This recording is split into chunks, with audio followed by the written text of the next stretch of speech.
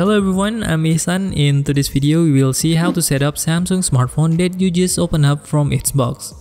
This is the setting that I usually apply when reviewing Samsung smartphone or when upgrading to another series. For the smartphone that we use in this video is Samsung Galaxy M51. For the Samsung Galaxy M51, it uses One UI Core version. But you can also adjust this setting for other Samsung series as well. The first setting that I always change when using a new smartphone is activating swipe down notification feature.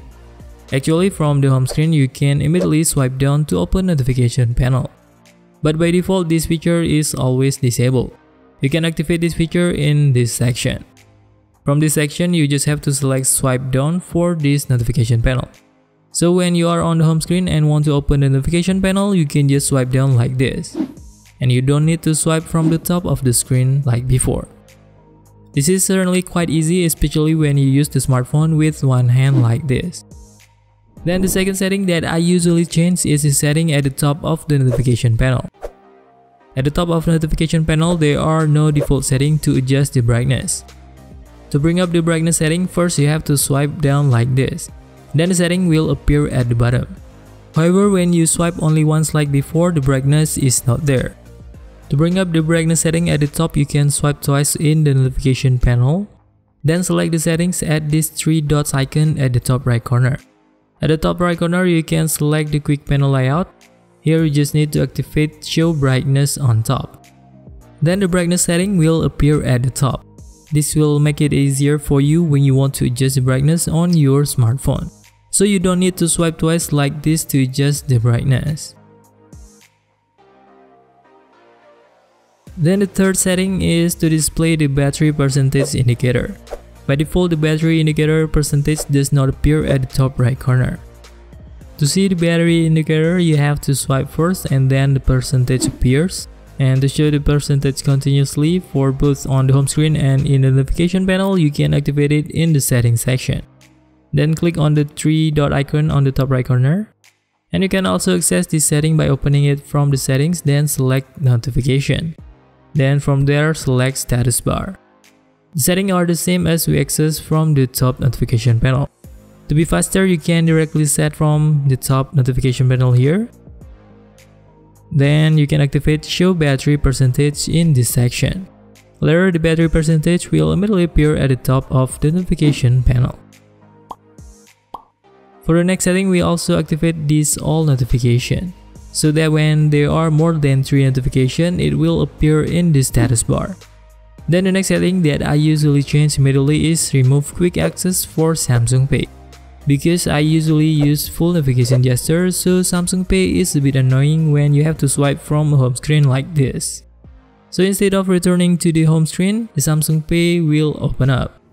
So this will certainly be annoying if you use full screen gesture on your smartphone. So you can just delete quick access by going to the Samsung Pay settings. You just have to open the Samsung Pay application and click settings at the top left corner. From there, open the settings, then select quick access. In the quick access section, you can turn off the setting for home screen and lock screen. Now you just have to click on set and Samsung Pay will no longer open when you swipe from home like this. Then the next setting that I usually change immediately is to activate the full navigation gesture.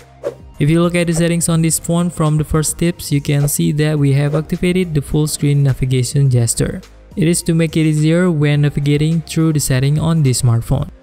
To activate the full screen gesture like the one we show on this video, you can go directly on the settings, then select display, then from there select navigation bar, then select full screen gesture in this section.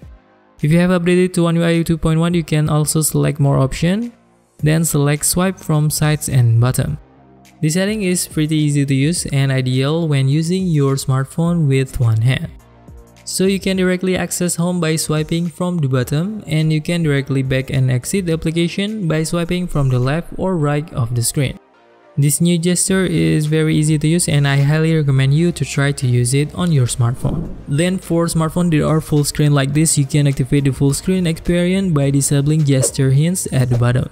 The gesture hints is the line at the bottom of your screen. This gesture hint setting will remove the line at the bottom of your screen. Usually we omit this setting because it is rarely used. So the display of your smartphone will be much cleaner and more immersive when you use it.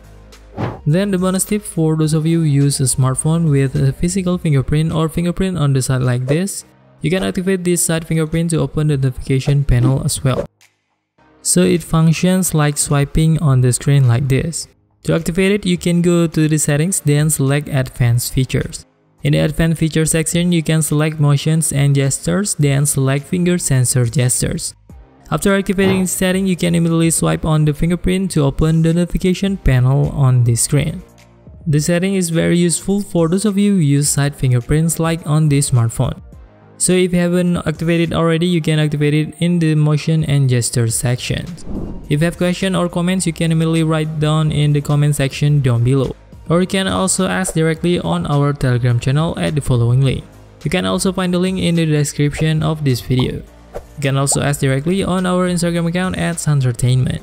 See you in the next video.